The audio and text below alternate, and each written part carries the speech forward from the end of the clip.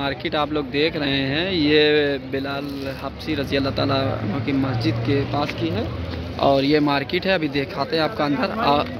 अयाज हमारे साथ और देखें किस तरीके से मार्केट में जैसे अमीनाबाद में भीड़ लगी रहती है टांडा के चौक में उसी तरीके से देखे कंगन माशाल्लाह खूबसूरत।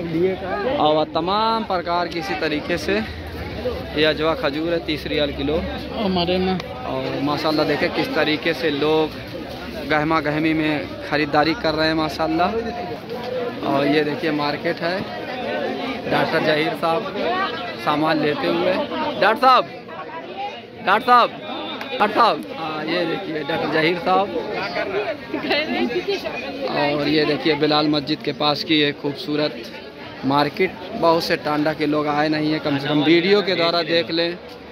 देखें किस तरीके से पर्स सेम सेम अमीनाबाद वाली मार्केट लग रही है। ये देखिए डॉक्टर नबील साहब भी खरीद रहे हैं, माशाल्लाह। डॉक्टर साहब? हाँ देखिए, माशाल्लाह, चप्पल की दुकानें हैं, इसी तरीके से चप्पलें हैं। देखा किस तरीके से लोग खरीदारी ऊपर घड़ी, सोने की दुकान है, ये इसे जानमाज की और तमाम चीज़ें की दुकान है। बिलाल मस्जिद के पास की दुकानें हैं, माशाल्लाह, देखें। देखें, माशाल्लाह। बहुत ही खूबसूरत है, बहुत ही भीड़ है। बहुत से साथी देखे नहीं है, कम से कम वीडियो के माध्यम से देख ले, मार्केटें। देखें, माशाल्लाह। देख ले, माशाल्लाह, ये काजू बादाम खजूर की दुकानें हैं, ये नकाब की दुकानें हैं। माशाल्लाह और भीड़ बहुत ज़्यादा है, क्योंकि आज दिन जुमा है, माशाल्लाह। और साथ में हमारे अयाज भाई, मोहम्मद मोहसिन बिलाल मस्जिद के पास की मार्केट का। एंजॉय कर रहे हैं, माशाल्लाह। देखें, ये मस्जिद के ऊपरी हिस्सा है। ये मस्जिद के अंदर का देखिए किस तरीके के नकाब यहाँ पर लगे हुए हैं, माशाल्लाह। ये नकाब की दुकान है और ये घड़ियाँ हैं।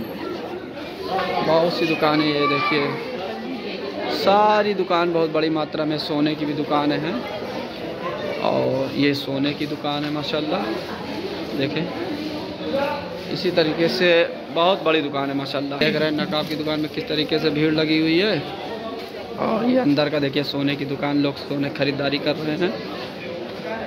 बहुत बड़ी मात्रा में सोने की दुकान है।